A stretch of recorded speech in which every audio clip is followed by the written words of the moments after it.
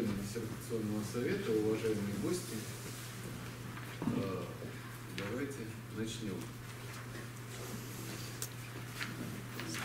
заседание. Э,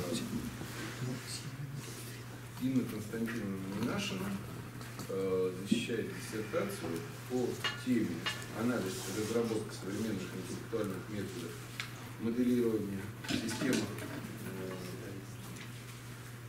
принятия. Прошу прощения, не опечаталась. Система принятия решений. По специальности 05-1301 системный анализ, управление обработка информации, информационные и технические системы. Технические науки, э, значит, диссертация на соискание ученой степени кандидата технических наук. Э, Ведущая организация Московская диссертация. МИИ, да. Организация МИИ, Российский университет транспорта. Так что я еще должен сказать? Все, дальше я передаю слово ученому секретарю, который огласит остальные сведения перед докладом. А, Коллеги, доброе утро. А, Итак, по а, диссертации. Диссертантом на соискание ученой степени кандидата технических наук представлены следующие документы. Первое. ди- Диссертация, которая была опубликована на сайте МФТИ а, 6 апреля 2018 года, что соответствует про- протоколу и, пла- и положению о присуждении ученых степени МФТИ. Автореферат был также опубликован 6 апреля 2018 года на сайте МФТИ, находится в Представлен а, отзыв на научного руководителя, а, за- за- заключение организации, где проводилась а, апробация диссертационного исследования, это Московский физико-технический институт. А, И также а, представлено заклю- заключение второй организации, где а, выполнялась а, апробация, это а, Институт а, радиотехники и электроники имени Котельникова. А, Помимо основных документов, а, представлены следующие документы, требуемые а, положением о присуждении ученых степеней 3. Первое. Отзыв от оппонента, от кандидата физико-математических наук ИП имени Харкевича. Второй отзыв представлен доктором технических наук, ученым секретарем ООО МИАС. А, Представлены два акта о внедрении а, а, результатов диссертационного исследования, протокол о приеме к защите, конечно же, представлены э, как сведения о ведущей организации, так и ее отзыв. А, Кандидатские экзамены а, сданы а, диссертантам на отлично, как э, история, э, философия науки, так и иностранный язык, э, так и экзамен по специальности системный анализ, управление и обработка информации. А, Соответственно, а, все документы, представленные диссертантом, соответствуют положению о, о присуждении ученых а, степеней F3. А Все отзывы, которые представлены, а, даны с положительным заключением, что а, а, позволяет нам принять диссертацию к защите и а, а, провести а, данную защиту. А, По поводу протокола а, сегодняшней а, защиты и слушания а, докладчику отводится 20 минут на представление. А, Затем мы озвучиваем а, замечания по диссертационному исследованию, по а, автореферату и по самой диссертации. И затем ответы на дополнительные вопросы членов и экспертного и диссертационного советов, затем голосование и дальше по протоколу. Тогда а, с вашего разрешения давайте начнем. А, и на конце- Сначала есть ли вопросы? А, да, я прошу про, прощения, поскольку процедура только а, обкатывается, так скажем, есть ли ка- ка- какие-то вопросы по плану и протоколу нашего се- сегодняшнего дня? Мы забыли сказать, что перед э, голосованием выступление. еще. Конечно, да, да, да. И безусловно. А, ка- какие-то дополнительные вопросы, комментарии, замечания? А, тогда позвольте начать. Инна Константиновна, у вас есть э, 20 минут. Удачи. Здравствуйте. Мое исследование посвящено моделированию транспортных потоков и алгоритмам оптимизации на железнодорожном транспорте. Последнее время большое внимание уделяется созданию и развитию интеллектуальных систем управления в сфере транспортных коммуникаций. А, Одной из проблем, решаемых подобными системами, является построение эффективных расписаний для регулирования перевозочного процесса. А, Данная задача является одной из самых важных задач на железнодорожном транспорте, так как от ее решения полностью зависит эффективность использования соответствующего локомотивного парка, а также зависит работа всех а, подразделений РЖД, участвующих в организации перевозочного процесса. На сегодняшний день а, существующие системы подобные а, не позволяют учесть все многообразие ограничений, возникающих в ходе планирования перево- перевозок. А, Обрабатывать же данную информацию вручную занимает очень много труда и не способствует эффективности деятельности РЖД. А, Существующие системы создавались десятки лет назад, и поэтому их э, функционал и архитектура э, не удовлетворяют э, поставленным ограничениям и требованиям, не способны обеспечить поддержку принятия решения и управления э, производственными процессами в режиме реального времени. А В данных условиях возрастает актуальность разработки интеллектуальной системы управления, способной а, планировать движение поездов и содержание тяговых ресурсов в режиме реального времени. А, Данная задача характеризуется сложностью, связанной с следующими факторами. Это конкурирующие участники планирования, неопределенность, большой объем предметных знаний, которые необходимо учесть, также большое количество ограничений, связанных с железнодорожной инфраструктурой, динамика процесса, сильной связанности поездов. Учесть все эти ограничения в э, автоматическом режиме позволяют методы адаптивного планирования искусственного интеллекта, используемые в данной работе. Все вышесказанное определило проблему настоящего исследования. Это как построить систему поддержки принятия а, решений в сфере железнодорожного транспорта, которая бы учитывала ограничения данной сферы, выдавала эффективные решения по планированию грузоперевозок в режиме реального времени. Приступим к краткому описанию моей работы. А, Мое исследование, целью моего исследования является создание методов планирования эффективного расписания движения и обеспечение поездов тяговыми ресурсами и построение системы управления а, перевозочным процессом на основе созданных методов. Предметом исследования является планирование движения поездов и содержание тяговых ресурсов, а объектом производственный процесс управления тяговыми ресурсами. В соответствии с данной а, целью, предметом и объектом были поставлены следующие задачи исследования, показанные на слайде. А, Данные задачи исследования были решены в ходе исследования, что обеспечило следующую научную новизну теоретическую и практическую значимость. Я не буду на этом задерживаться, так как это все есть в автореферате. Практическая значимость скажу только, что мои системы уже используются для автоматизации грузоперевозок на железнодорожном транспорте, частично внедрены в опытную эксплуатацию на восточном полигоне и э, для транспортной системы типа H1. А, На следующем слайде представлены положения, выносимые на защиту. Перейдем к а, краткой характеристике структуры работы. Она состоит из пяти глав, введение, заключение, а, списка используемой литературы и трех приложений. В первой главе а, выявляется основной круг проблем, а, которые требуют решения путем автоматизации. Во второй главе посвящена анализу существующих подходов к построению интеллектуальных систем управления. А третья глава посвящена решению задачи построения эффективного расписания. Четвертое – решение задачи содержания тяговых ресурсов, основной потребности, а также под задачей моделирования пассажиропотока. А, Пятая задача посвящена оценке эффективности построенных систем управления. Перейдем к рассмотрению третьей задачи. Она посвящена а, планированию эффективного расписания грузоперевозок.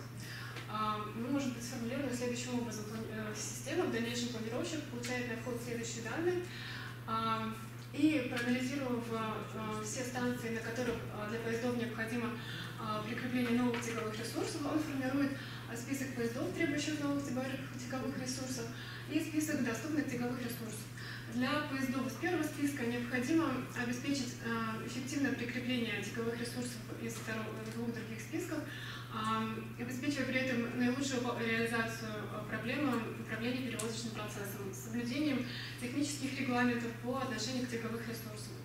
А данная проблема может быть аппроксимирована задачей поиска глобального экстремума. Задача оптимизации в сфере железнодорожного транспорта является достаточно трудоемкой. Ее сложность связана с, с множеством ограничений из-за специфики железнодорожного транспорта, поэтому применение классических методов в данном случае не всегда дает эффективные результаты. А, данная задача может быть разделена на три подзадачи. Это планирование поездов, планирование ТПС и планирование ЛВ, там сокращение данных. Давайте рассмотрим эти подзадачи, а потом перейдем к методам, используемым в работе. На данном а, графике, э, на данном рисунке представлен нормативный график движения поездов. По технологии поезда должны двигаться э, по ниткам вариантного графика сформированным. Поэтому данную задачу можно представить следующим образом. На вход даются следующие данные, и необходимо а, прикрепить наилучшим образом каждый поезд на нитке вариантного графика. Причем по одной нитке на различных участках могут двигаться несколько поездов, и один поезд может двигаться по нескольким ниткам на разных участках маршрута. А следующая подзадача – это подзадача прикрепления локомотива к поездам. А, она представлена на схеме. На вход подаются следующие данные – и модулю необходимо сформировать а, привязку локомотива к поездам наиболее эффективным образом, а также сформировать задание на отправку локомотива резерва на техническое обслуживание, при этом соблюдая, естественно, все ограничения по отношению к работе ТПС локомотив. Задача э, привязки локомотивных бригад ставится аналогичным образом. Приступим к методам, используемым в работе. Разработка состояла из следующих стадий. Прежде всего были сформированы ограничения, потом произведена формализация задачи и разработаны методы поиска эффективного расписания. На данном слайде представлены основные ограничения данной задачи, сформированные исследованием. Этапы формализации включали в себя формирование функций полезности, построение модели системы управления грузоперевозками и постановки задач оптимизации. Ключевым вопросом э, постановки задачи оптимизации, влияющим на постановку задач оптимизации, а также на учет ограничений задачи, является формирование функции полезности для пары локомотив-локомотивный слот. А в дальнейшем термин локомотивный слот будет обозначать абстрактный план, на который нужно а, назначить локомотив для пересылки с поезда или резерва. В ходе данного исследования были сформированы основные критерии функции полезности данного пары. А каждому из критериев ставится соответствие нормированное значение УК, после чего вычисляется а, по данной формуле функция полезности для какой-либо пары. Но данная функция полезности учитывает далеко не все ограничения системы, из-за чего нужно было построить алгоритм, учитывающий остальные ограничения системы. Я не буду задерживаться очень много, так как у меня ограниченное время на алгоритме. Скажу только, что он состоит из решения трех подзадач. А, по задаче планирования поездов учитывает основные ограничения по пропускной способности, приоритете категории поездов, другие. А, по локомотивам учитываются ограничения в алгоритме состояния локомотивных слотов. А, привязки локомотивов делаются по 6-часовым интервалам отдельно по тяговым плечам. Привязки бригады делаются по 3-часовым интервалам отдельно по тяговым плечам. Для каждой из такой итерации решается задача привязки соответствующих тяговых ресурсов к поездам. И данная задача является ключевой во всем исследовании, поэтому перейдем к методам ее решения. Данная задача была сведена задачей оптимизации. Ранее мы рассмотрели э, функцию полезности для одной пары локомотив локомотивный слот. Рассматривая оптимизацию прикрепления тяговых ресурсов поездам на всем участке планирования, мы используем суммарную целевую функцию, которая э, является суммой из всех планов пересылки. Эта функция является многомерной функцией векторного аргумента, где вектор x какое-либо решение задачи данной привязки тиковых ресурсов к поездам. Тогда для данной, решения данной задачи необходимо решить задачу поиска экстремальной суммарной целевой функции с заданными ограничениями. Эта задача целочисленного программирования характеризуется сложностью, неоднородностью и разрывностью целевой функции, Однако в некоторых случаях она может быть, когда не нужно э, учитывать дополнительные ограничения, о которых я скажу позже, она э, может быть сведена к задаче назначения. Тогда в качестве исполнителя выбирается та сторона предложения, которая меньше на данной операции планирования, в качестве работы придется оставшаяся сторона. Перейдем к методам решения данной задачи. А, специфика железнодорожной области вызвала необходимость а, выбора наиболее эффективного метода в условиях данных ограничений. А, специализированные методы решения задачи назначения позволяют получить быстрое решение, однако они не способны удовлетворить дополнительным критериям планирования, из-за чего были разработаны другие методы целочисленного программирования. Также специфика железнодорожной области влечет за собой массу ограничений, которые очень сложно учить, используя классические методы. В связи с этим в работе были использованы мультиагентные технологии. Тогда для каждого объекта ставится соответственно интеллектуальный агент, представляющий его интересы. И множество этих агентов переговариваются между собой, выдавая нам решение. То есть э, все планирование строится эволюционным путем в ходе переговоров сотен тысяч агентов, постоянно кооперирующихся и конкурирующих между собой. Рассмотрим специализированный метод задачи назначения. А, прежде всего был проведен сравнительный анализ данных методов, а, был реализован венгерский алгоритм метода аукционов, однако венгерский алгоритм показал недопустимую низкую скорость, в связи с чем а, был выбран метод аукционов. Основной идеей метода аукционов является введение цены для каждого слота. Тогда локомотивы, например, какой-нибудь локомотив ИТый, выбирает для себя наилучшую по полезности слот и считает выгоду от назначения себя на данный слот. Далее он формирует цену и говорит новую цену на данный слот. Причем идея формировки цены как раз включается идея выгоды. То есть если какой-либо другой локомотив захочет перебить его цену, он должен перебить именно сумму выгоды, тогда суммарная функция полезности не понизится. Таким образом получается оптимальное решение. Формальные шаги алгоритма представлены на слайде. Для неприкрепленного локомотива выбирается наилучший слот. Вычисляется второе по величине значение выгоды по следующей формуле. Далее вычисляется новая цена для слота, и если условие 4 выполнено, то локомотив назначается на слот, а предыдущее назначение сбрасывается. Эти шаги повторяются до тех пор, пока все локомотивы не будут назначены на слоты. Основным преимуществом данного метода а, является то, что он дает точное решение за достаточно быстрое время. А, он является одним из немногих поисковых методов, а, который дает, который, до которого доказана сходимость к оптимальному решению. Однако он имеет и следующие недостатки. Прежде всего, его сложно адаптировать для многомерной задачи назначения. Также он, главным недостатком его является то, что существуют дополнительные критерии планирования, Например, такие как соблюдение процента заезда бригадов, водопол, приписки и другие, а, которые не позволяют учесть данный метод. В связи с этим был а, предложен другой метод а, поисковой целочисленной оптимизации, это алгоритм имитации отжима. Основные идеи данного алгоритма подобны поведению атомов металла, который подвигается вначале э, который вначале нагревается, а потом подвергается методу медленного охлаждения. При данных условиях атомы металла стремятся занять а, положение с минимальной а, энергией. Поэтому а, это позволяет рассчитывать и искать глобальный минимум. При адаптации данного алгоритма к задаче привязки тяговых ресурсов к поездам был предложен следующий алгоритм расчета нового состояния. Это произвольная матрица полезности выбирается произвольные координаты матрицы полезности, и любые два назначения по этой координате меняются местами.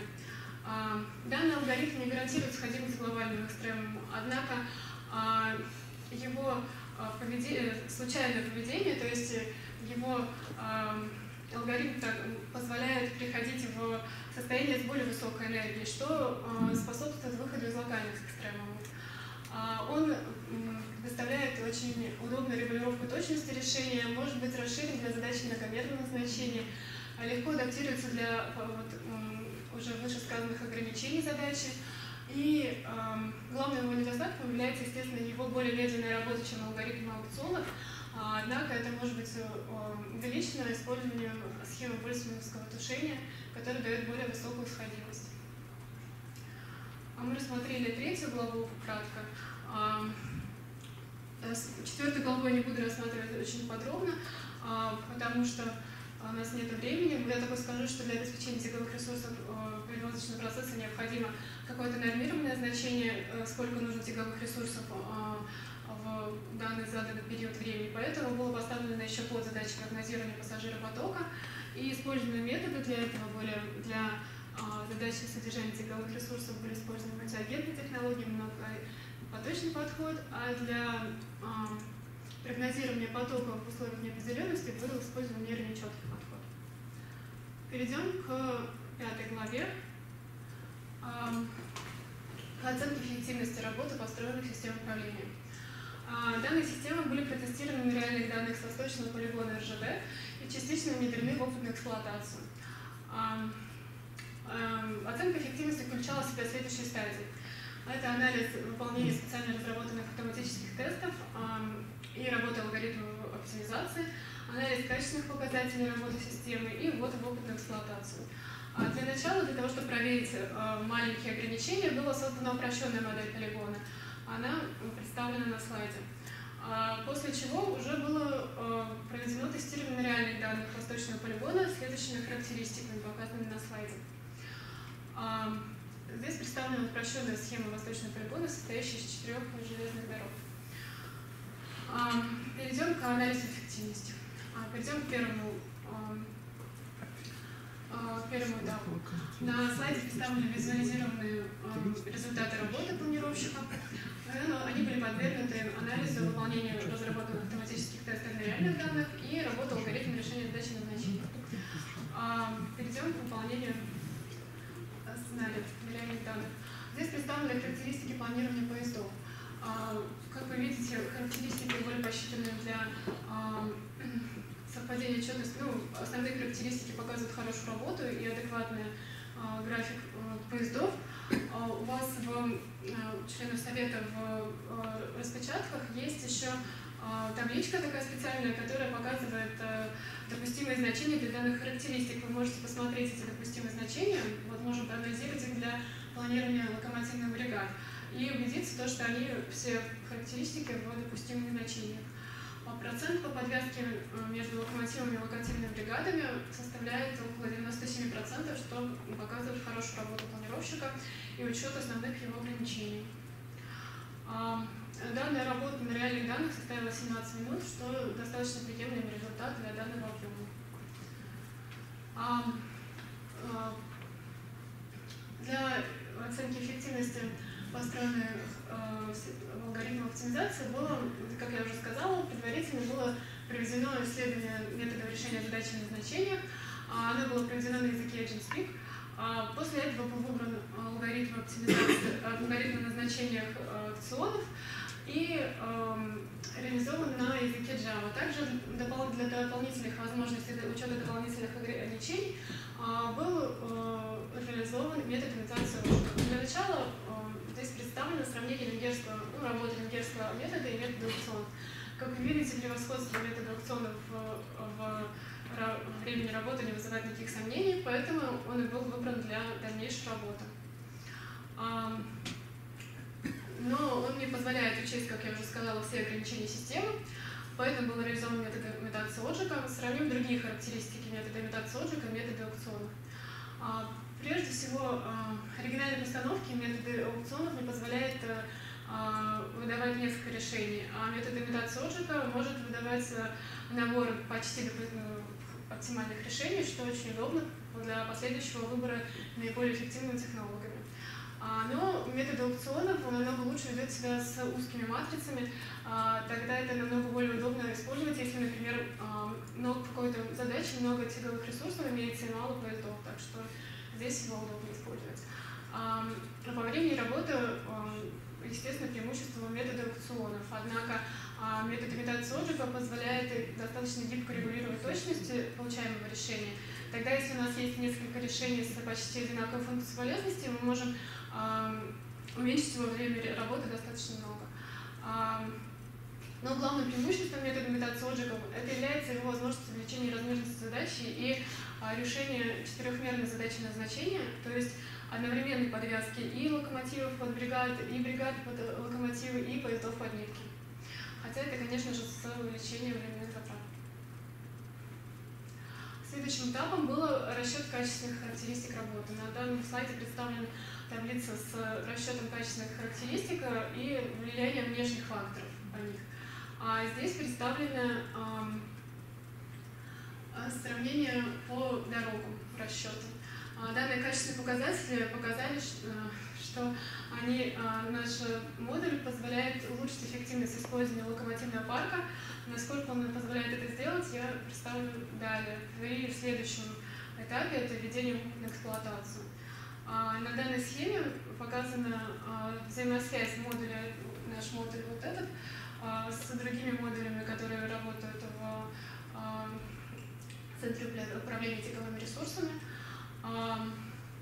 Здесь показаны планы подвязки и планы пропуска поездов. Здесь показана именно подвязка какая там есть под локомотив, а также график движения локомотивов.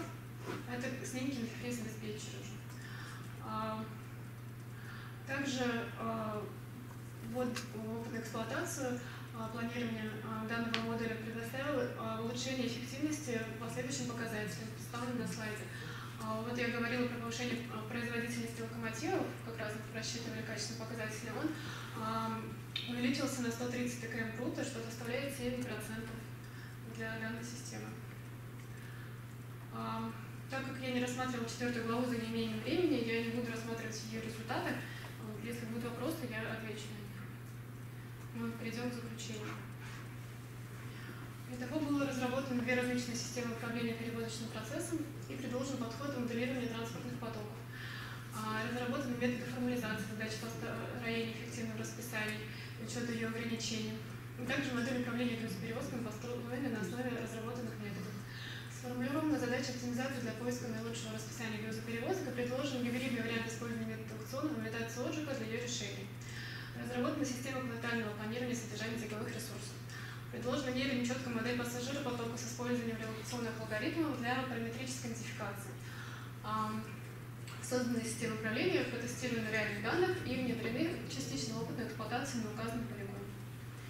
Спасибо за внимание. А, Спасибо большое за ваше выступление. До того, как мы а, перейдем к следующей части, а, а, я хотел бы озвучить отзывы, которые поступили на работу и замечания, которые были по диссертационному исследованию и по самой работе. Прошу прощения, у нас все-таки первый раз мы проводим. Э, Я бы предложил значит, два варианта, как удобнее членам совета. Либо э, ведь все смотрели работу, написали свои вопросы, значит, э, диссертант готовилась к ответам. Сейчас какие-то дополнительные вопросы возникли, можно их сейчас задать. Или удобнее потом, когда она ответит на вопросы в отзывах. Хорошо. Давайте тогда перейдем к отзывам. А из отзывов лучше, наверное, замечания прочитать. Да, да, да, я думаю, мы это Да, тоже я думаю, что можно сами отзывы не оглашать, они все положительные. Важно замечания, которые были высказаны, и послушаем, что на это скажет. А, а, Инна Константиновна, давайте начнем, наверное, с отзывов, а, с замечаний, которые а, были сделаны ведущей организацией. Идущий, хорошо. А, Да. А, Первое замечание было связано с а, необоснованностью и нечеткой фор- формулировкой, нечетким обоснованием а, верификации разработанных моделей и методов. Да, я, к сожалению, видите, за неимением времени не смогла рассмотреть эту главу. А, Сейчас я представлю основные по ее разработке. Вот. А, Вопрос состоит значит, в том, что а, почему была именно выбрана модель Такаджи Суджина Канга. Вот здесь она показана. Да. Вот. Преимуществом модели Такаджи Суджина Канга является ее гибридный подход. То есть она, она содержит в себе и как нечеткие посылки, посылки в виде нечетких множеств, так и заключения в виде линейной функции. Таким образом, она позволяет решать задачи идентификации динамических объектов в условиях именно неопределенности. Естественно, есть и другие модели. Я просто не стала ими уделять особого внимания из-за так большого объема работы. А, Например, есть мо- модель Мамдани, которая содержит посылки и заключение уровня четких множествах. Но данная модель больше используется для поиска ассоциативных связей в данных и также в анализе данных. Поэтому для нашей, она не является динамической, поэтому для нашей рассматриваемой задачи пассажиропотока моделирования она не подходит. Вот. Спасибо. А, уважаемый член диссертационного совета, есть ли какие-то комментарии, замечания по ответу докладчика? А, Инна Константиновна, тогда вопрос а, номер два, который имеется а, скорее это связано с общим, с, с общим замечанием по работе, Да. связанным с длинными предложениями и их несогласованностью. Я Да. думаю, что в следующих исследованиях и своих работах да, вы это учтете. А, а, Есть а, одно из замечаний, а, связанное с а, большим количеством со- совместных публикаций, где не всегда учтен, а, не указан личный вклад автора. Да, конечно же, у нас была коллективная работа, такая большая система не может построиться одной. Вот. Мой личный вклад мой был, например, в том, чтобы, я могу перечислить сейчас, если нужно, а, в том, что формирование функций полезности, формирование ограничений, а, построение основного идеи созданного алгоритма. А Также вся четвертая глава была построена мной, что содержание тяговых ресурсов, а, а что вот именно это а, нейронечеткая модель, естественно, при поддержке моего научного руководителя. Вот. А, Есть ли какие-то дополнительные? Окей. А, Тогда а, приступим к тем замечаниям, которые а, и комментариям, которые а, были вы- высказаны членами диссертационного совета и а, а, оппонентами. А, У вас э, есть список этих э, вопросов, э, комментариев по вашей Да, работе? конечно. Окей. Давайте тогда по ним пройдемся, ответим и кратко рассмотрим. Давайте. Хорошо, спасибо. А, я сама, да, зачем? Да, если этого... Хорошо. Спасибо. А с кого начать? Правильно, просто С вас, да? Хорошо. Ну, я тогда начну с Татьяны Дорот Сергеевич. Вот. а, У него были поставлены очень интересные вопросы. Спасибо большое за его внимательное прочтение моей работы. Он действительно очень глубоко вник в работу. Это очень приятно. А, Вот. А, Например, первый вопрос. В диссертации делается акцент на применении алгоритма Качмажа при построении идентификации моделей, а, например, пассажиропотоком. Чем вызван интерес автора диссертации к этому алгоритму? Замечу сразу, что алгоритм Качмажа используется во многих приложениях, часто бывает весьма эффективным. Однако этот алгоритм обладает, не обладает фильтрующими свойствами, и поэтому его решения а, могут сильно зависеть от величины ошибок в моделях и уровня шумов данных. Для того, чтобы применять этот алгоритм в реальных задачах, надо быть уверенным в том, что в данных измерений нет ошибок, и они весьма незначительные, что модель объекта полностью адекватна ам, самому объекту. Тем не менее, алгоритм Качмажа может быть в случае неточных данных, если его оценка подвергается взвешенному усреднению. Другая альтернатива Ка- Качмажа – взвешенный метод наименьших квадратов, обладающий как фильтрующим свойством, так и способностью отслеживать стационарные модели а, параметры объекта. А, Благодарю за ваш вопрос. А, Да, естественно, изначально алгоритм Качмажа вообще предлагался для решения линейных систем уравнения. Однако, как вы правильно заметили, а, в реальных системах имеет место случайности. Это было э, рассмотрено как в ваших работах, так и в работах Чудеева, Пащенко. Ам, Поэтому именно из-за того, что в реальных условиях нельзя погарантировать, что все входные характеристики детерминированы, то мы как раз произвели оценку работы алгоритма в случае сходимости алгоритма в случае а, случайных ходов. Для математического ожидания ошибки идентификации были получены оценки сверху и снизу. Ам, Эти оценки фактически являются взвешенными, поэтому а, они учитывают корреляционные а, связи между случайными величинами, как раз э, входными сигналами. А, Также наш а, алгоритм Качмажа является релаксационным. В знаменатель был добавлен социальный коэффициент не, а, а, нулю, поэтому это позволяет еще увеличить устойчивость алгоритма. Вот ответ на данный вопрос. Что касается... Может, надо перейти все-таки к э, взвешенному место квадрата в этой задаче. Помеха не справится. Ну, возможно, мы все это для дальнейших разработках мы сравним как раз э, решение. Следующее замечание касается раздела 4.4. А, система моделирования прогнозирования пассажиров как составная часть задачи содержания языковых ресурсов, в котором транспортный поток описывается нелинейной армомоделью с параметрами M и L. В работе не обсуждаются такие важные вопросы, как возможная устойчивость и неустойчивость модели, вопросы э, определения величин параметров M и L. Замечу также, что в первой строчке формулы 4.4 в аргументах имеется место описки. Да. К сожалению, описки я нашла, но исправила, уже было поздно.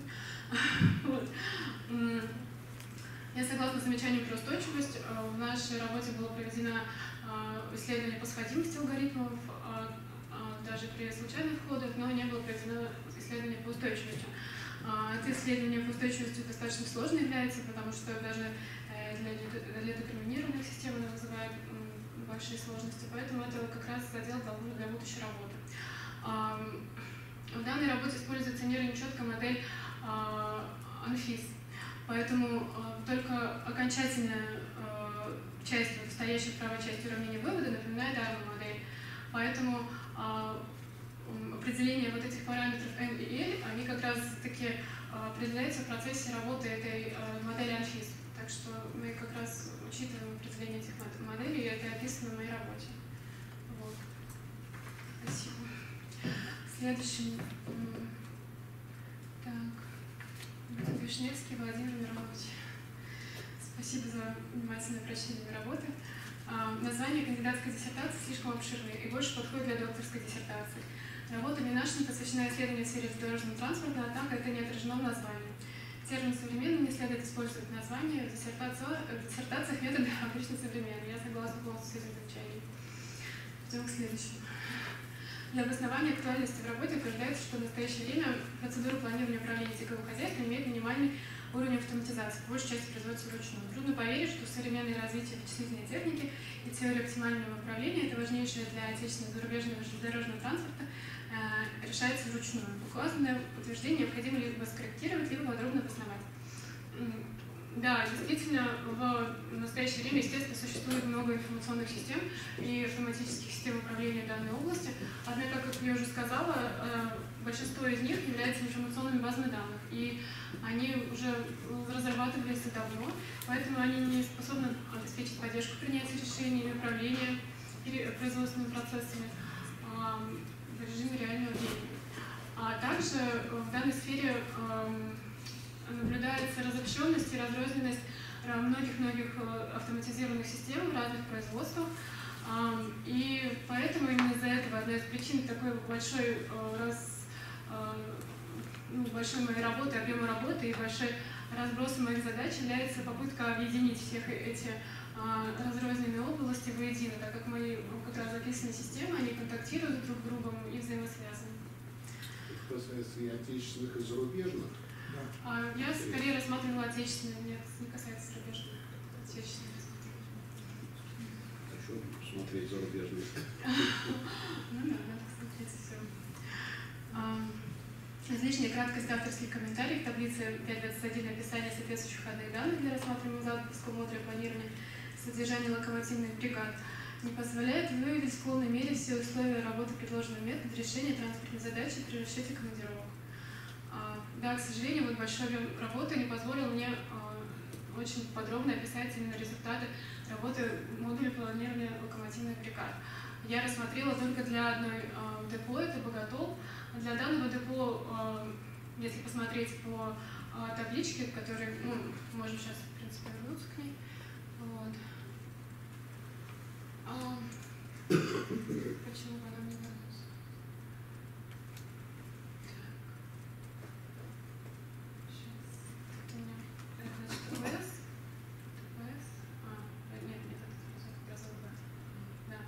Вот результаты данного модуля.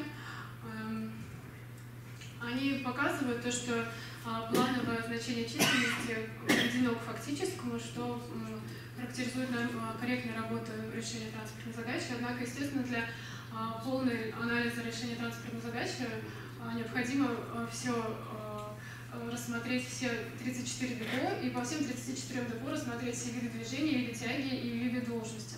Это очень большая, как бы объемная э, работа, поэтому она была проведена. Uh, уже было вводено число на эксплуатацию, но в работе своей именно диссертационной я этого не отразила, к сожалению, потому что и так был большой объем работы, и уже некуда было дальше. Кстати, вот. Следующее замечание. В обзоре работ математики диссертации слабо описаны публикации последних лет. Да, это справедливое замечание, к сожалению, оставила далеко не все работы, которые я рассматривала, но в моих опубликованных работах, которые тоже приведены в список опубликованных работ, приведена и современная периодика. Спасибо большое за замечание, Владимир Миронович. Следующий Крутанинский Олег Ярославович. Название работы слишком широко и неконкретно для кандидатской диссертации. Нецелесообразно было бы конкретизировать название, связать его с объектом исследования, который четко определен. Я совершенно согласна с данным замечанием, да, это был мой просчет, надо было мне поменять э, тему диссертации. А, пункт 2 вряд ли можно отнести к завершенному обоснованному пункту научной новизны. А, формулировка задач еще не подразумевает ее формализованную постановку и решение, достоверность и обоснованность которых должны быть подтверждены как научный результат. Поэтому пункт 2 научной новизны должен быть включен как составная часть в другие пункты научной новизны. Я хотела сказать, что под формулировкой задачи мы подразумеваем не так излагаем работу, ее формализованную в постановку. Поэтому мы и выделили это как пункт особой научной новизны. Вот. А, ну, к сожалению, из-за обилия, естественно, рассмотренных задач не удалось полным образом а, глубоко это исследовать, но эта задача была поставлена впервые для железнодорожной области, поэтому мы это выделили как вот. А в работе неоднократно говорится об эффективности предложенных методов и алгоритмов. В пятой главе декларируется проведение оценки эффективности разработанных систем управления. Но приводятся только результаты проверки работоспособности, что не может восприниматься как исследование эффективности. Спасибо за вопрос. В главе 5, а, как я уже сказала, и было приведено в докладе, был проведен, во-первых, расчет а, качественных показателей работы системы локомотивного парка, эффективности, который может быть как раз-таки и а, воспринят как а, показатель эффективности соответствующего использования локомотивного парка. А, также было исследование эффективности построенных алгоритмов оптимизации. Тоже как можно рассматривать как одна из эффективности построенных методов. Также это было уже приведено в внедрение и в опытную эксплуатацию, что уже принято заказчиком, хотя находится еще на рассмотрении. Вы же вопросы потом сможете задать, да? Да, Еще, конечно. Да, можно сейчас задать. Нет, Давайте я думаю, что раз алгоритм решили мы такой регламент, то конечно. пока пока молчим. Да, да, Ну ладно, потом тогда. Нет, сейчас просто если да, есть да. вопросы по Давайте ее ответу, по ответу, да, конечно. сразу. Давайте Просто сразу. у меня вопрос был в критерии эффективности. Да, у вас работоспособная система удовлетворяет каким-то требованиям, которые вы нам привели. Совершенно здесь вопросов нет. Но какие критерии эффективности? Вы нам говорите, что вот это число... производительность оно- локомотивов, критерий эффективности, а, средний пробег, критерий эффективности. все-таки эффективность э, подразумевает какое-то сравнение с чем-то. Одно А. более эффективно, другое менее Ну, я эффективно. поняла, да? я а у вас, ну, ну, бегает он быстро, Ну, ну и поняла, хорошо. да, а вот спасибо, откуда да. мы знаем, что он бегает быстро? Ну, конечно же, да, Может быть, по другим делам э, алгоритм будет бегать еще быстрее? Да, вот в другом а, как раз То есть вопросе. вот это я имел в виду. То есть критерий эффективности с чем сразу? Работоспособность вызывает сомнения. Ага, спасибо большое. Вот как раз в другом вопросе у а, Дворковича Александра Викторовича было то, что качественные показатели несравнены с показателями реальной эксплуатации. Да, я согласна, это действительно просчет. То есть нужно было сравнить действительно с реальной эксплуатацией. Так, следующее. Недостаточно обоснованное применение а, методов формализации качественной информации для построения модели прогнозирования пассажиропотока. Для этой цели можно было бы использовать метод теории массового обслуживания статистические модели. Несомненно, что исходные статистические данные для построения таких моделей имеются. Точные же прогнозы с использованием таких моделей выше, чем модели, основанных на использовании качественной информации. А, Данная задача характеризуется недостоверностью и неопределенностью показаний, и что не дает возможность использовать вероятностные методы. Также, а, даже если предположить, что есть имеются статистические данные, а, они, эти методы не предоставляют возможности работы в режиме реального времени. Я использовала адаптированные методы. Они позволяют э, не, как, как бы, не а, анализировать всю большую массу э, статистических данных, а работать в режиме реального времени. Поэтому был выбран именно эта модель. А, то, что недостаточно точно, но я бы сказала, нейронные сети дают достаточно точно. Нет, я там имел в виду не нейронную сеть, а именно А, нечеткую. а, нечеткую Ну, часть, понятно. Ну, на нас основе же как качественной бы информации. Ну, понятно. Это виду. Так. Мне уделено внимание вопросам а, обучения нейронной сети, а, нейросетевой модели, а также показан, показания качества этой модели, что снижает научную ценность данных раздела. Спасибо, да, это справедливое замечание. К сожалению, большое количество рассматриваемых задач и как следует количество объем работы не позволило мне углубиться в рассмотрение данных вопросов. А, Однако в моих работах, опубликованных в международных научных журналах, есть рассмотрение этих вопросов, можно там посмотреть. Вот. Также в моей диссертационной работе все-таки больше внимания уделяется именно практической реализации, что было а, курировалось соответствующими грантами. И поэтому мы уделяли больше внимания именно разработке а, достаточно, а, может быть, более простых методов, но которые дают приемлемый результат за быстрое. Вот, ну как вот в третьей главе. То есть мы больше внимания уделили все-таки третьей главе, чем так как это курировалось соответствующим грантом. Может быть, но у меня вопрос был практическая составляющая применения модели. Это очень хорошо, но тут же вопрос качества модели. А где адекватность этой модели? Вы ее практически применяете, а откуда мы знаем, насколько она адекватна? Ну, ну да, вот по комбинационному моделированию можно показать. Вот. А, так, Циркун Анатолий Данилович. А, в проведенном в четвертой главе диаграммы класса нет полного описания во всех входящих в них методов, что усложняет внимание программной реализации модуля квартального планирования содержания локомотивной бригады. А, да, вот здесь я даже не показала это, но э, действительно в э, структурах данных, которые показаны в диссертации, э, нет всех описаний методов, которые там входят. Я не стала описывать, я описала только ключевые методы. Действительно, может быть, стоило не показывать тогда их на э, картинках и на. А, При анализе качественных показателей системы планирования расписания автор неоднократно использует термин «объемное задание», не раскрывая в полной мере реализацию планирования объемных заданий. Это не дает возможности должным образом проанализировать их влияние на качественные характеристики планирования. Да, спасибо за интересный вопрос. Как указано в третьей главе, термин «объемное задание» обозначает задание, которое получает планировщик на, на отправку заданного количества поездов в заданное количество времени. Для каждого из такого поездов создается как бы тоже фиктивный поезд, планирование которого соответствует планированию обычных поездов. Однако эти фиктивные поезда, они эм, конкурируют с реальными поездами за привязку тяговых ресурсов. А, и также реальные поезда приходят обычно в планирование уже с какими-то тяговыми ресурсами, а фиктивные поезда приходят без ничего. Из-за этого они отбирают а как бы тяговые ресурсы у, фикти- у реальных поездов. А, и это сказывается, естественно, на планировании. А, приоритет планирования этих поездов, он менее приоритетный, поэтому а, такие поезда продвигаются в конец суток. И это влияет на расчет э, качественных показателей, именно а, средний пробег таких локомотивов учитывается меньше, что снижает производительность локомотивного парка и дает немного неверную оценку производительности. Это достаточно интересный вопрос ну, для нашего технического железнодорожной области. Спасибо. Теперь вот Дворкович Александр Викторович, спасибо за внимательное прочтение. Действительно много интересных вопросов. Вот. ну, первый вопрос опять про название. Я действительно за то, что оно очень, а, оно очень общее, да, и справедливое замечание. А второе про положение выносимо на защиту, которое следует немного не так формулировать. Ну да, я, сформулировала, немного неправильно, но тем не менее я согласна с этим замечанием. А, тем не менее, каждое мое положение раскрывается в соответствующей главе диссертации. А, на третий вопрос на странице 18 используется не совсем корректный термин степень оптимальности. Согласно толковому словарю, оптимальным называется то, что э, является наиболее благоприятным, всего возможным, наиболее подходящим. Да, возможно, в данном случае нужно было использовать термин степень эффективности, более корректно было бы. А, Для ряда терминов, специфичных для рассмотрения отрасли, не даны определения или пояснения. Например, нитка, хвост, тяговое плечо. А для терминов, введенных нами в ходе исследования, было, ой, было даны подробные объяснения на странице 78 в начале третьей главы.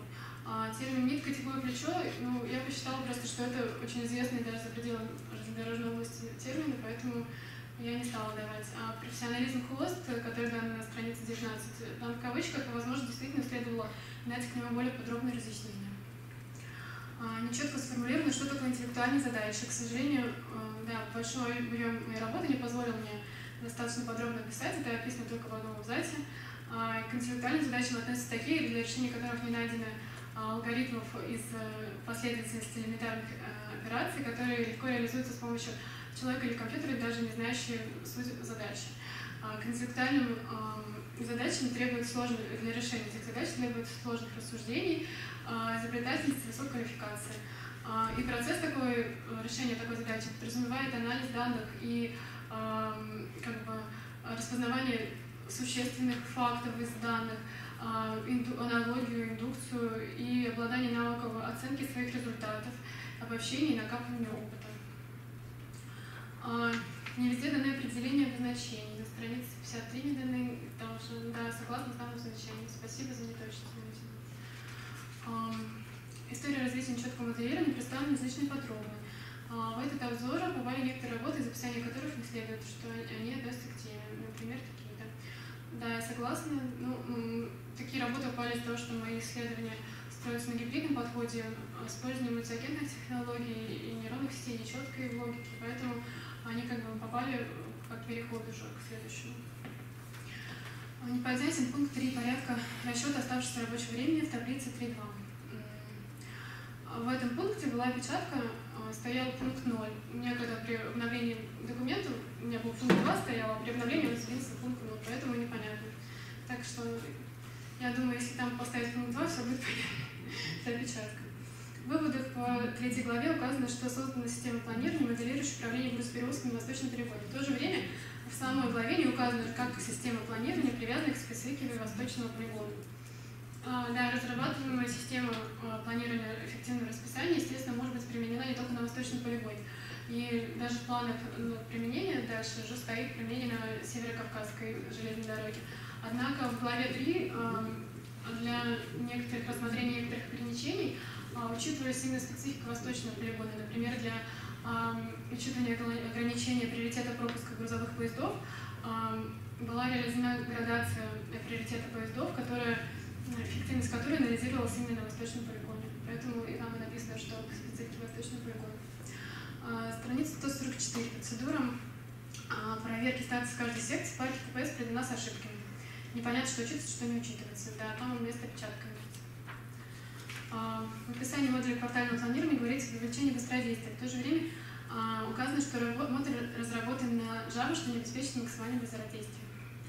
Ну да, в в описании этого модуля указано, что быстродействие делается за счет распараллеления процессов. Но выбор языка нам не предоставляли выбор языка, потому что данный модуль э, взаимодействует со множеством других модулей в проекте из службы, поэтому им было удобно, чтобы наш модуль разрабатывался именно на Java. В данной работе для моделирования э, процессов перевозок используется нечетко разная модель ТСК-модель. Она, для обоснования этого выбора, приведена только преимущество тест-модели. Оно не э, рассмотрено ее недостатки в сравнении с другими возможными моделями. Да, я согласна, в связи с большим объемом я опустила эти более-менее известные факты. А, да, конечно же, существуют другие аналоги ТСК-модели, например, модель Мамтани, как я уже говорила, я отвечала на другой вопрос. А, вот, ее преимущество, возможно, в том, чтобы она описывает все на естественном языке, то есть у нее и нечеткие посылки, нечеткие заключения. Однако, как я уже сказала, она не является динамической, поэтому не может быть рассмотрена для нашей задачи. При анализе результатов работы модуля планирования не указано допустимое значение отклонения результатов работы планирующих. Только сказано, что они находятся в пределах допустимых значений. Да, спасибо, я ушла это при докладе, я распечатала вам табличку. Вот. Что такое разряженная матрица? Это отпечаток, подразумевается разряженная матрица. При анализе качественных показателей модуля планирования расписания грузоперевозок было бы правильно сравнить полученные показатели с показателями реальной эксплуатации. Да, вот э, уже было такое замечание. Спасибо, да, я согласна. Действительно, качественные показатели должны были быть сравнены с реальной эксплуатацией. Однако, эм, э, как бы это было сравнено скорее уже при введении в опытную эксплуатацию. Вот в докладе я показала, насколько это э, позволило увеличить эффективность производительности, производительности локомотивного парка. Спасибо за вопрос большое. Уважаемые коллеги, есть ли какие-то дополнительные вопросы по диссертации, которые возникли после того, как вы формулировали их или в процессе доклада?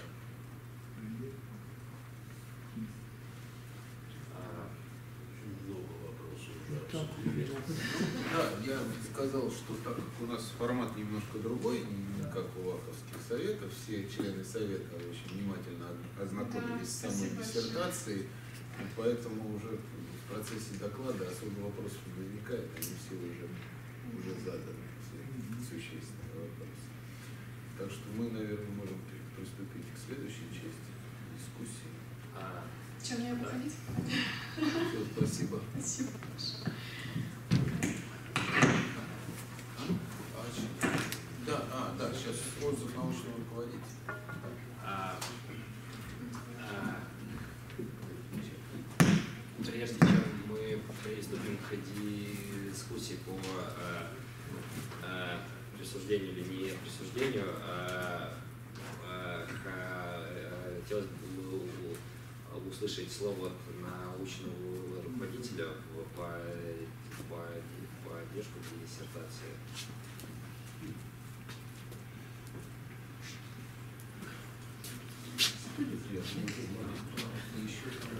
Я думаю, что здесь, как от научного руководителя, требуется вообще-то характеристика работы соискателя, как подходит человек, насколько он образован, насколько он знает эту тематику, по которой защищает диссертация. Но, тем не менее, я думаю, что Нина показала свое выступление очень хорошо рассказала, доходчиво ответила на вопросы. Я бы хотел сказать, что она действительно, ну, то, что она закончила физтех с отличием, это уже характеризует о чем ее хорошо. Она вдумчивая, она очень хорошо работала литературу, погрузилась не только в математические аспекты, которые здесь необходимы, но и технические аспекты внедрения, потому что вот эта увлеченность ее внедренческой частью, то есть вот нужно было выполнить гранты, она немножко нарушила, так скажем, обычный традиционный, так скажем, ход защиты, когда сначала даются математические методы какие-то, алгоритмы, а потом говорится, вот это мы применяем к этой задаче, к этой задаче и так далее. То есть вот здесь задача фактически была ориентирована на решение ряд важнейших задач по грузоперевозкам, которые возникают у нас сегодня в стране, в частности в системе РЗД. Были рассмотрены разные методы, это и нечеткие модели, это и нечеткая логика в целом, это и адаптивные модели, это гибридные модели. То есть фактически потом получился не альянс, то есть модели гибридные получились, которые действительно новые. Это сочетание нечеткой логики с обычной аналитикой, традиционных теорий управления в системах принятия решений. Но это вот такое сочетание, с одной стороны, сделало затруднительным аналитический анализ, например, вот то, что прозвучало устойчивость, а с другой стороны позволило решить требуемые интервалы времени эту задачу. Раз вот Вина подчеркнула это, но, может быть, не совсем так акцентировала. Задача сумасшедшей размерности.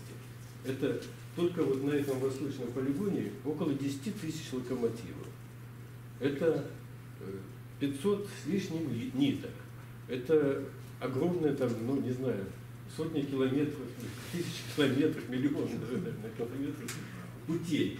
Потому что это две трети нашей, на- две трети нашей страны. Вот. И вот решить такую задачу объемную, такой размерности, ну я даже не знаю. Вот, э, Владимир Григорьевич в свое время делал систему систе- э, Сирена, участвовал. Но это был только один кусок, нужно было продать билеты, купить билеты, сориентировать и все это привязать. А здесь задача была архитрудная. Почему? Потому что нужно было вписать вот эти трудо, решить задачу перевоза трудовым транспортом, задачи, в которой ограничения, помимо вот этих ограничений там, на количество э, локомотивов, бригад, там, слотов и так далее, нужно было учесть. Первый приоритет – это скорые поезда, потом пассажирские поезда, потом пригородные поезда, и только потом на последнем месте идут товарные поезда. И вот нужно было вот в эти все ограничения втиснуть как-то, учесть эти все ограничения при решении вот такой оптимизационной задачи. Поэтому даже конкретный алгоритм конечный, который получился в сочетании алгоритма аукционов, метода и отжига, и наших адаптивных там алгоритмов и нечеткой логики, вот позволил решить действительно приемлемые сроки, то есть это примерно 20-30 минут нужно было решать вот эту оптимизационную задачу. Когда классические, даже если оптимальные алгоритмы, они не позволяли вот, удобно, вот, требуемое время решить такую задачу. Вот это достижение диссертантки. И я считаю, что работа очень хорошая. Хорошая не только с теоретической точки зрения, но и с практической точки зрения. То есть она практически начинает реализовываться и в соответствии с актами реализовывается уже у нас на железнодорожном транспорте. Э, нужно отметить самостоятельность большую. И я бы сказал, вот энергичность написания даже диссертации, вот у нас это первый совет, как она работала, как быстро отвечала на вопросы, как быстро реагировала на замечания, это тоже положительная черта соискательницы. Считаю, что достойно Минашина с ученой степени кандидата технических наук по 0,5 по специальности, 0,5 раз Спасибо, Есть вопросы? Есть вопросы? А, Позвольте мне кратко, а, а, кра- кра- кратко доложить о заключении организации, где производилась апробация работы. Ап- Апробация производилась на кафедре э, и коммуникационных систем и сетей Московского физико-технического института. По а, итогам апробации а, был сделан вывод о том, что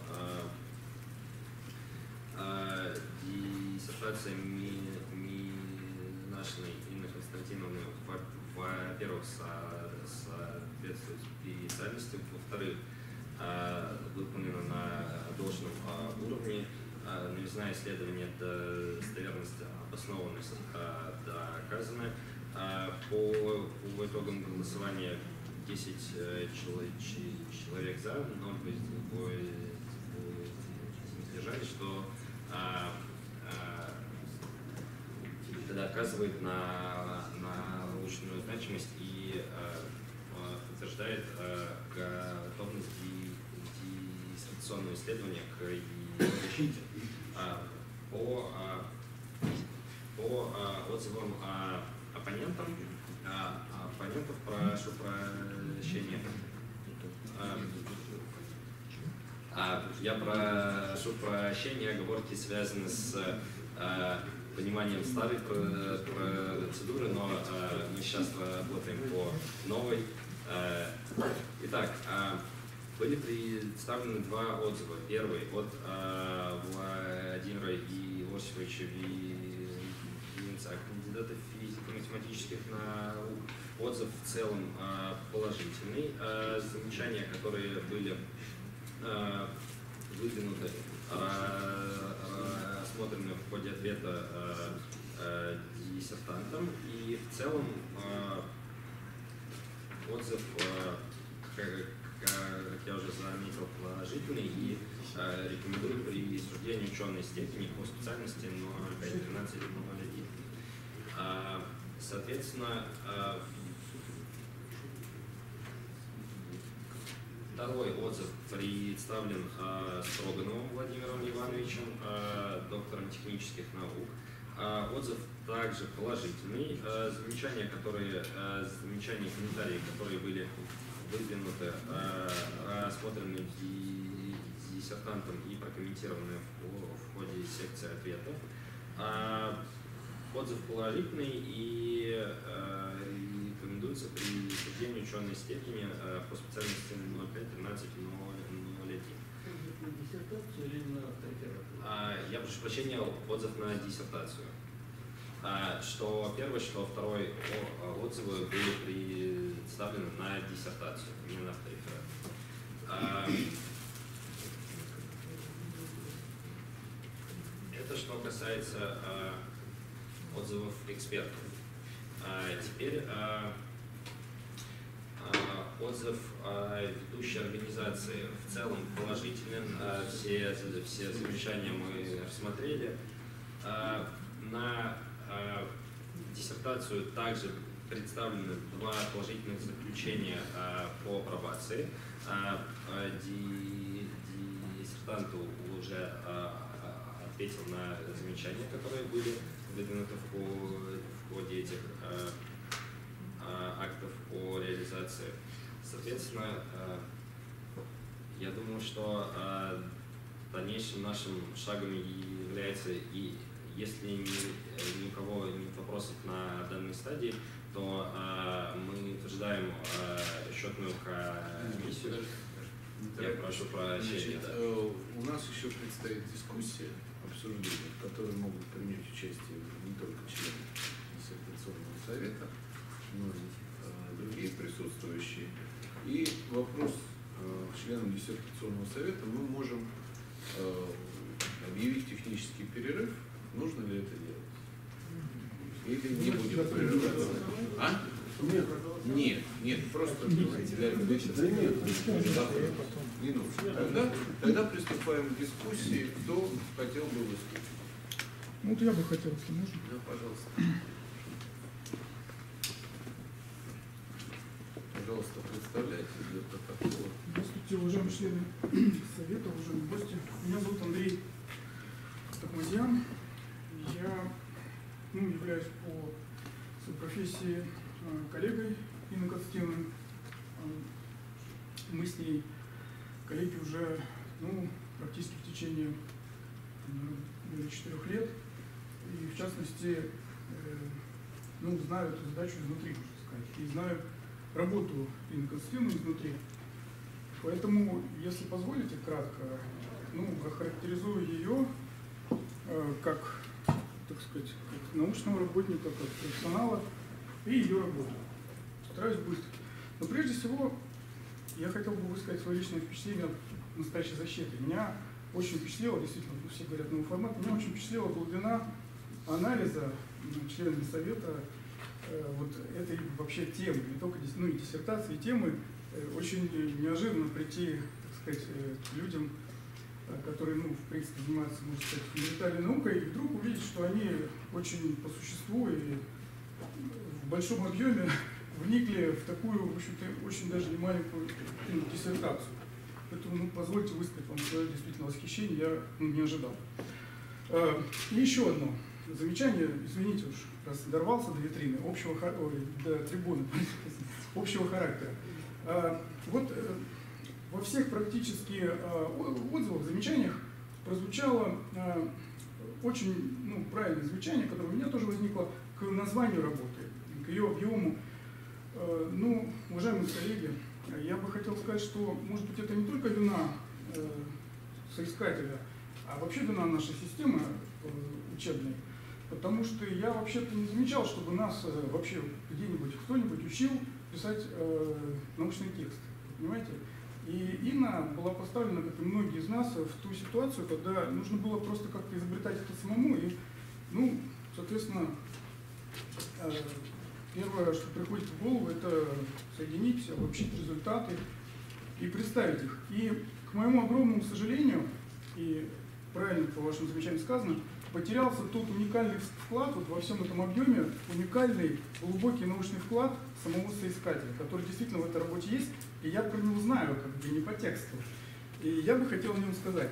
А, Действительно, как ну, Федор Федорович практически украл у меня все, ну не украл, а отобрал у меня все э, правильные слова на эту тему, но я рискну еще раз повториться, что, пожалуй, в наше время успех лежит именно на стыке технологий, э, в какой-то, так скажем, уже в какой-то интеграции. Нельзя взять какой-то один метод и все вот им ну, решить э, реальную практическую задачу. Просто не получится.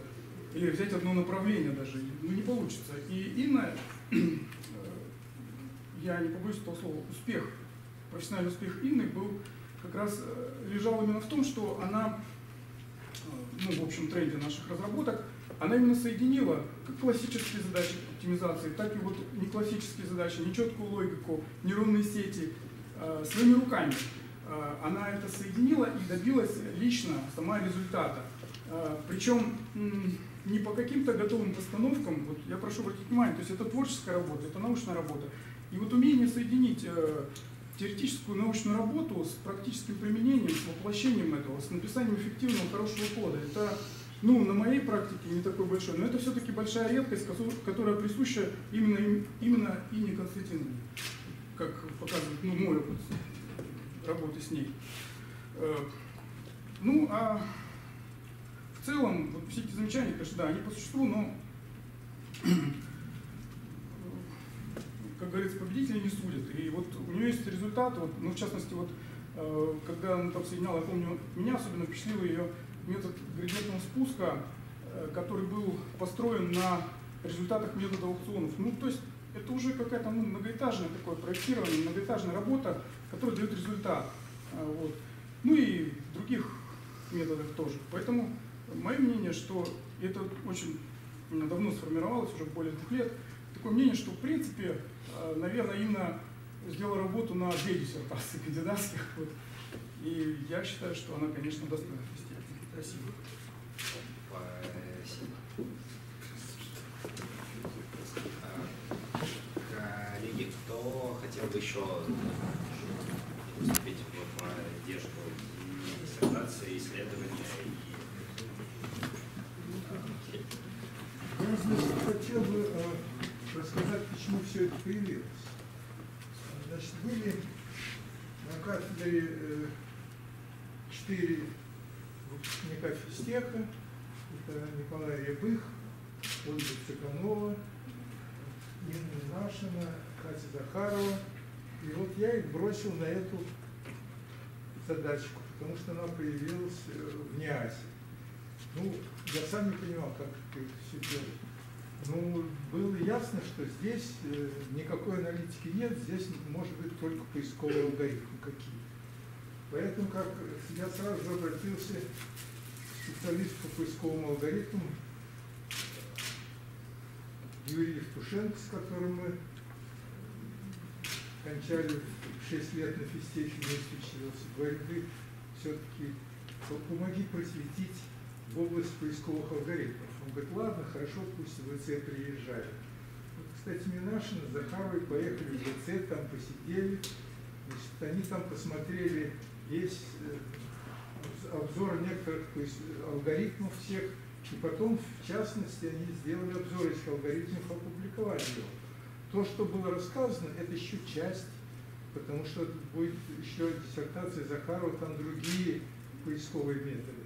Ясно, что непонятно, как все это делать, э, поэтому было, что, ну, что можно было придумать? А, непонятно, как вообще э, перечислить все возможные варианты. Значит, вот на восточном полигоне 10 тысяч локом... 3 тысячи локомотивов, 10 тысяч локомотивных бригад. Значит, как перечислить возможные варианты? и учесть э, все ограничения. Значит, учет ограничений, ну какой, что первый приходит в голову? Значит, есть мультиагентные технологии, которые позволяют учитывать э, взаимодействие разных объектов и тем самым, так сказать, учесть ограничения. То есть в этой области можно перебирать. А, ну вот, значит, а потом ну, вопрос глобально, значит, учитывая мультиагентные технологии, можно всегда получать допустимые решения. Вопрос оптимальное, не, не оптимальное, это же другой вопрос, будут допустимые. Как оптимальные, глобальную экстремум никто не умеет искать, и они тут ничего нового не могли изобрести. Изобретали каким образом? Один поисковый алгоритм находил какой-то экстремум, потом применяли другой поисковый алгоритм, если он опять-таки никуда не двигался, оставался в этом месте, считали, что это вот тот лучший. Так это на самом деле нет, никто не знает. А, значит, э, ну, пытаясь, вот, значит, э, ну, что было главное? Главное, ведь когда начинали решать, э, этот объект ни к какой математике никакого отношения не имеет. Значит, надо было построить какую-то формальную модель, и потом уже к этой формальной модели применять все эти алгоритмы. Значит, вот был вопрос, а как вот зарубежный опыт? Ну, и надо сказать, что зарубеж наш, нас обошел, уже есть система э, подбора локомотивов. А, Значит, эта система внедрена несколько лет назад э, в этом самом Люксембурге. Но там пять грузовых поездов в сутки проходят. Поэтому опыт внедрения этой системы, к глубокому сожалению, применить не удалось. Но вообще надо... Супруги России, да, немножко разные, так Да, сказать. Ну, Цветами, вы да. учтите одно обстоятельство. Вообще говоря, на Западе почему нет такой вот... э, Почему восточный полигон? Потому что там действительно напряженка. Э, Там, так сказать, не хватает локомотивов, не хватает локомотивных бригад и так далее. Там на- одноколейка надо использовать вообще э, оптимальным образом всю пропускную способность. Значит, на Западе действительно одни информационные системы, и не надо решать эти задачи, потому что э, железная дорога, она не нагружена так. В Штатах что там, железнодорожные э, перевозки, они есть, но они, железная дорога свободна совершенно, основные перевозки там автомобильные, в Европе, между прочим, то же самое. Вот сейчас, может быть, китайцы очень интересуются э, российским опытом, потому что в Китае сейчас будет э, тоже у них напряженная довольно железная дорога загружена. Вот, пожалуй, так сказать, э, ну и надо сказать, я бы еще раз хотел подчеркнуть, что вот когда начинала эта четверка э, решений задачи, ничего не было ясно. И ведь как вот Александр Михайлович Летов еще поучил, что 85% успешного решения прикладной задачи – это ее формализация. Вот была поставлена формальная задача, и значит, потом различные методы ее решения. Я думаю, что в этой аудитории вы еще услышите другие методы решения подобного рода задач, потому что здесь еще не учитывались там ремонты паровозов, там отдых паровоз, значит, локомотивных бригад и так далее. Вот, пожалуй, что я хотел вам сказать про эту историю, поскольку вот как баран-провокатор инициировал все эти работы. Я думаю, что Инна вполне э, достойно присуждения звания кандидата технических наук. Спасибо. А, Николай Александрович, спасибо огромное. А, Для, для такого остальные, А, а остальные, да, ну, Цыганова, и команда, да. Да, и. Они устали от решения задачи и другую организацию. Некоторые. Да, да, да. Нет, Захарова стала.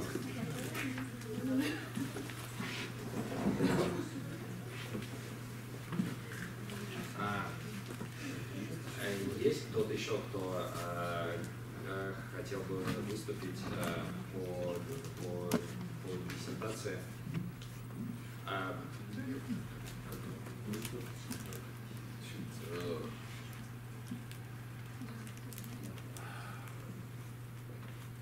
В общем-то, у меня мнение диссертации сформировалось еще до защиты, потому что я с ней познакомился э, достаточно подробно.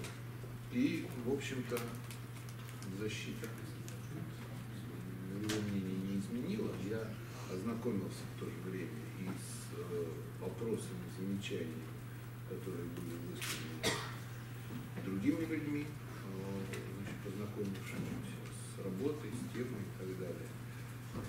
Ну и я только сказал, что э, это укрепило меня в моем мнении, что работа очень достойна и э, диссертант вполне значит, выполнил большую квалификационную работу и вполне заслуживает э, ученой степени кандидата технических наук. И, соответственно, призываю других членов комиссии Конституционного совета голосовать за присуждение. Наверное, а, если нет вопросов и никто не хочет выступить, а, тогда мы можем при, приступить к определению счетника миссии. Мы вскроем урну, покажем, что там нет э, дополнительных сведений и бумаг. А, Итак, по э, счетника миссии, что мы делаем? Ну, предлагаю, я предлагаю, у нас совет компактный, Да. Ну, предлагаю включить. э, Нам нужно три человека. Нет, ну, у нас пятеро, ну, трое. Вот, э, уважаемые коллеги, которые сидят поближе, предлагаю вас включить значит, в счетную комиссию. Значит, Авидьян, Вишневский и Протек. Есть, э, значит, кто за, прошу голосовать. Все за. все за, а Значит, э, ну, тогда прошу значит, счетную комиссию приступить к работе. Да, надо раздать бюллетень. Ну, бюллетень раздаст э, ученый секретарь. Значит, а э, счетной комиссии вручается. Значит, Эдуард Зеронович, я предлагаю вам стать председателем. Вот. Вы, нет, вы ее открываете, показываете всем, что там ничего нет. А сейчас мы сделаем, мы откроем и запечатаем обратно. Все торжественно. Птичка вылезет. Еще немножко. Да, да, я попробую помочь. Ну это чтобы точно все знали, что там ничего нет.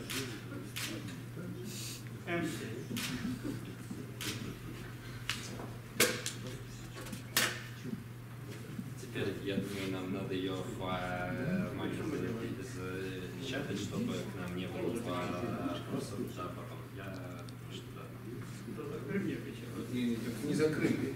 А, ее надо... А, все непросто. Сейчас.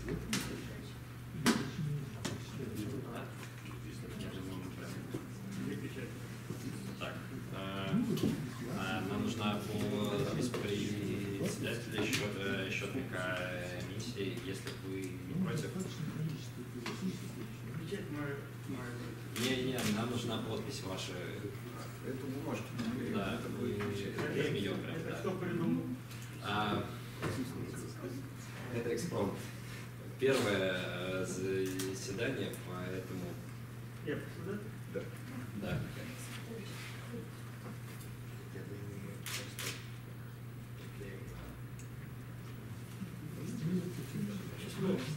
А, по-моему, шестое.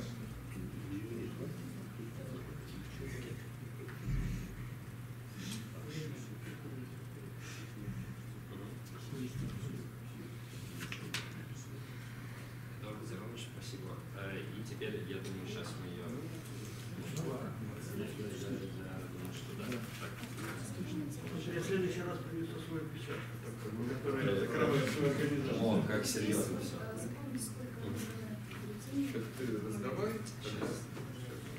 Давайте тогда сейчас раздадим так. Вначале, как председатель. Под роспись раздаются. А, Больше у тебя есть. Специально обычная вещь. тогда требуется еще. Все с собой. Да,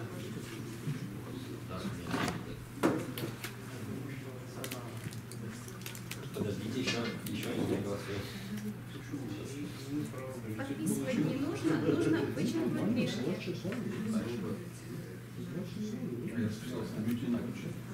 Прошу прощения. Нужно вычеркнуть лишнее. А, спасибо. Отдаю бюллетень.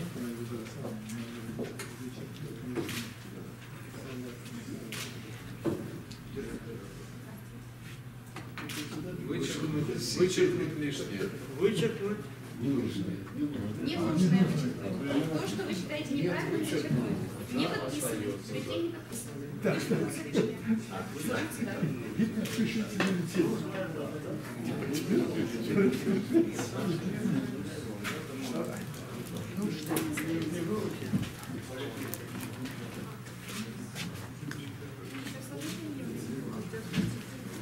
Оригами. Под пять человек у нас В старом формате можно другая была? Нет, нет, это это старого. Ну что, Андрей, спасибо.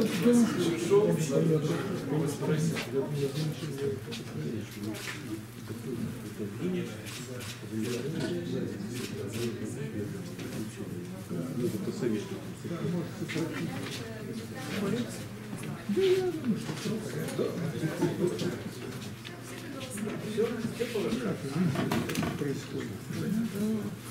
Счетная комиссия собирается. Давайте.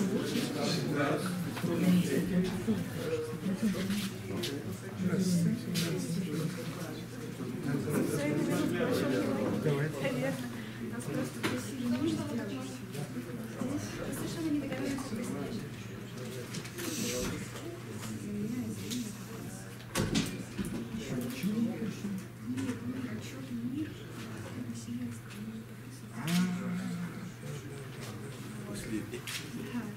Еще у меня есть э, как апробация.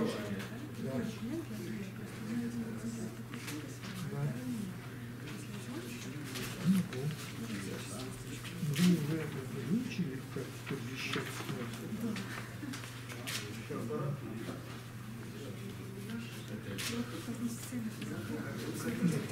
Ну да, ну да, ну,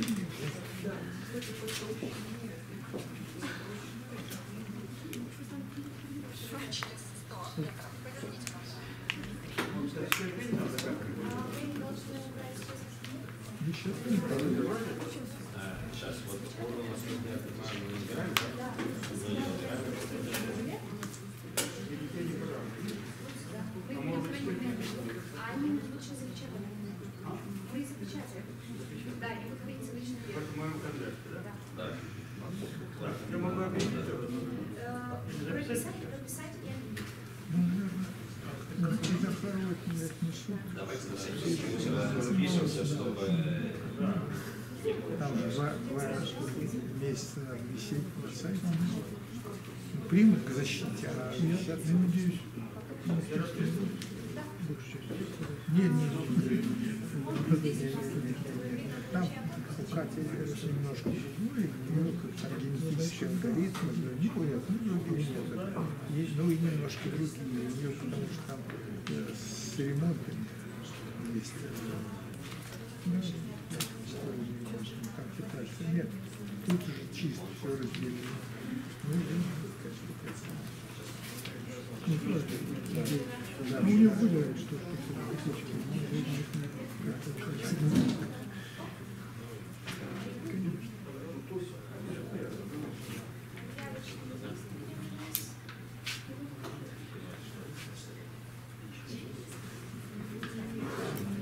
Ну, видишь, морально подготовил, что еще слышно. Да, да. Ну, жалко, что. Хорошо, чтобы они еще послушали. Не. Когда подготовит.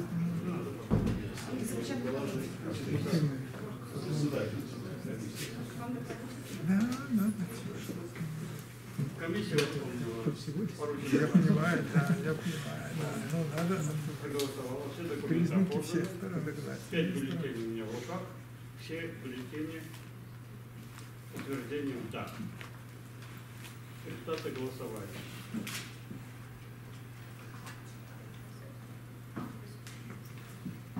Вот за протокол. А, да.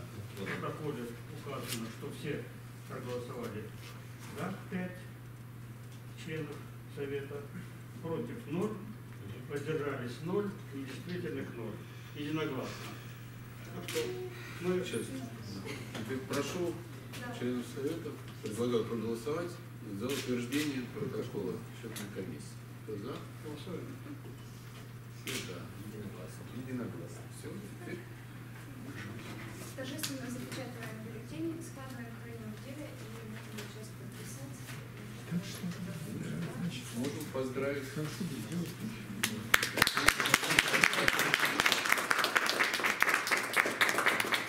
В общем, принимает решение диссовет. Дальше это решение, конечно, должно быть утверждено. Но решает, ну, присуждает ученую степень. Перевод 60 Сессия. По идее, может, там и расписание таким образом делать. Вот это было неплохо. И там можно было. Я пытался А, один момент, подождите, да, еще у нас всем роздан проект заключения, значит, вот этот момент важный. Если э, Здесь маленькое замечание. Вы сказали, что отзывы поступили на диссертацию. А здесь написано на диссертацию Надо посмотреть.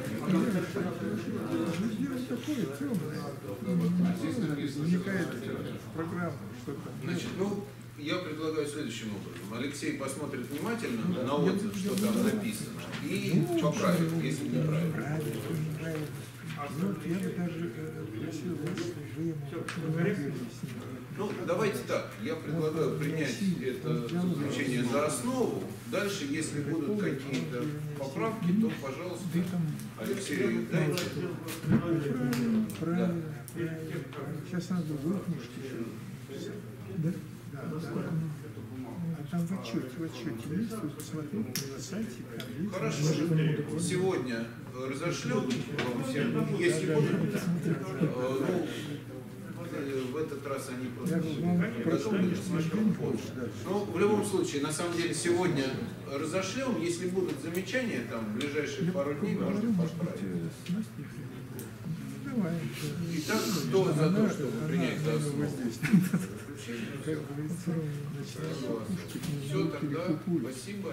Ну, я думаю, заинтересован за исполнителя, потому что.